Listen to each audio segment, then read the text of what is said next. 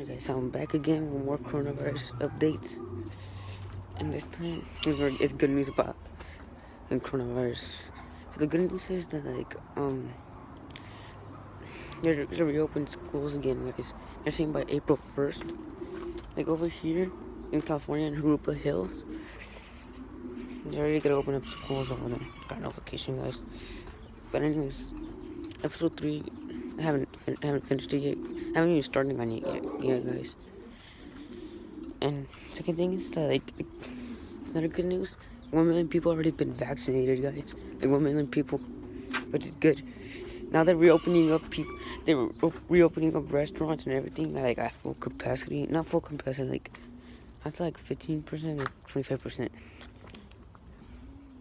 Hachi was with me right now. Where's Hachi? Yeah. But anyways, um, I don't know what else to say. But, yeah, it's just more updates about the coronavirus and our schools to reopen again. It's a good thing that schools are opening up again because I'm failing these classes, guys.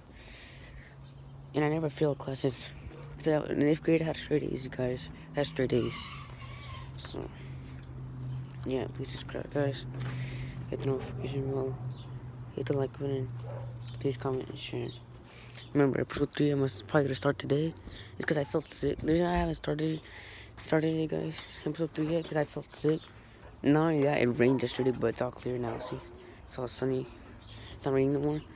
It's crap. And yeah, you guys, you know Casper was in the series. So Casper's gonna be, Casper's gonna be, like, Casper was in episode 2. So, yeah, I already said subscribe and everything. Stay safe, wash your hands and everything. Stay six feet away. I want to stay ten feet away and wear a mask. And whatever you do, use hand sanitizer, wash your hands. So, yeah, I'll see you guys later. Bye, guys.